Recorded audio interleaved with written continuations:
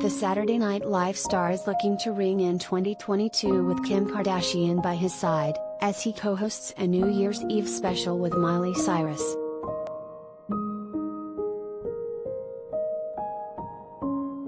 With New Year's Eve right around the corner, Pete Davidson, 28, definitely wants Kim Kardashian, 41, to be his kiss at midnight. A source close to the comedian revealed to Hollywood Life exclusively that he invited the Skims founder to join him, as he parties in the new year in Miami. Pete thinks that spending the night with Kim, as he co-hosts a nice special with Miley Cyrus would be the perfect way to put a cap on 2021.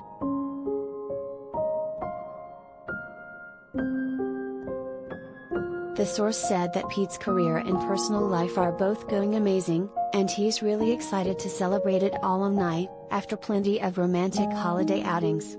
Ultimately, it's all up to Kim whether she wants to celebrate with him. As New Year's comes closer, he has already asked for Kim to join him in Miami, and it is not out of the realm of possibility that they may appear together as the ball drops on the special, the source said. He's leaving it all in her hands on if she wants to join or not, the invite has been made.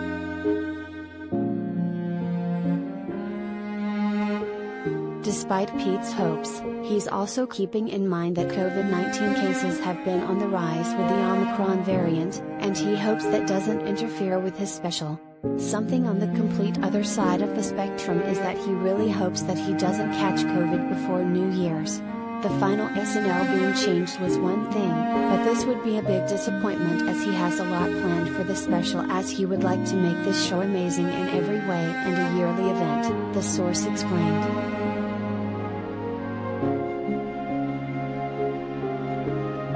Related Gallery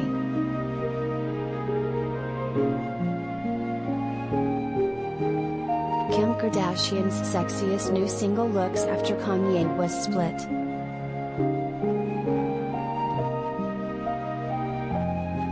Ultimately, both his invite to Kim and his worry about COVID influenced both of the big things the SNL star wants from New Year's Eve. So, if he had two wishes this New Year's it would be for it to be healthy and happy one with Kim. He wouldn't want anything more, the source said.